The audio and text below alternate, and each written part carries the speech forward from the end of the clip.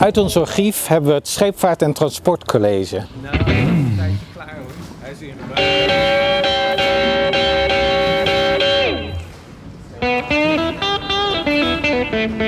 in.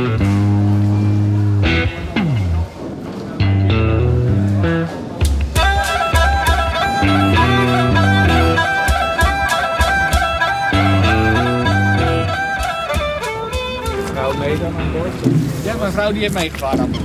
Dus eh, het laatste jaar dat wij gevaren hebben, ja, dan gingen we ook vaak met een duwbak varen en alles en zo. Ja, dat is dan toch wat meer herrie in de woning en alles. Dus we hebben op een gegeven moment gezegd zo van nou, eh, we kopen een huis en gaan aan de wal. Ja, je zit vaak ook 24 uur per dag aan het varen. Ja, de kindjes slapen dan niet zo goed. Van nou, eh, Ja, dit is wel een mooi alternatief zou ik zeggen. Ja. Toch op het water. Ja. Je kennis overdragen. ja, nou dat eh, met name kennis overdragen. Het, eh, het gaat erg goed met de binnenvaart. Dus zo blijf je achter mij, want je moet wel rond hè.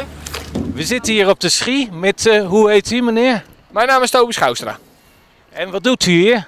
Eh, ik ben momenteel les aan het geven. Dus eh, ik, eh, ik ben docent zeg maar, voor de binnenvaart. Ik geef eh, les aan de matrozen. Die hebben we hier, eh, hier achter ons. Die, eh, die jongens die krijgen nou een beetje roeibootles. Ze leren roeien en wrikken. En later ook met een buitenboordmonitoretje varen.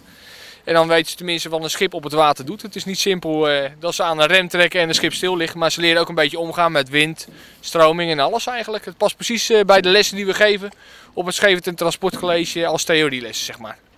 Krijgen ze die lessen elke dag hier op het water? Eh, nee, we zitten op het ogenblik zitten we met deze jongens alleen eh, dinsdag en woensdag.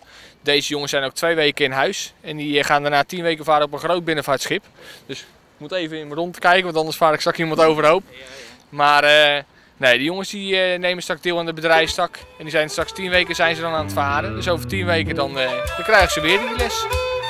Dus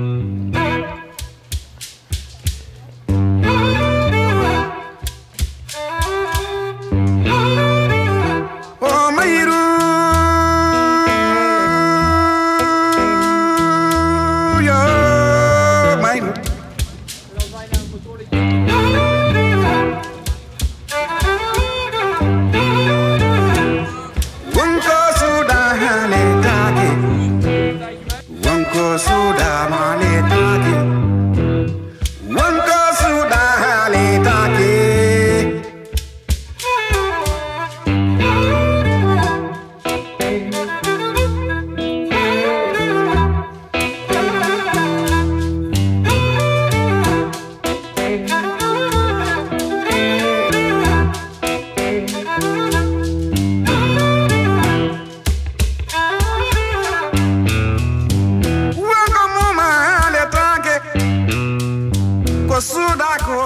suri toide ne ko suda ko don furi suri toide.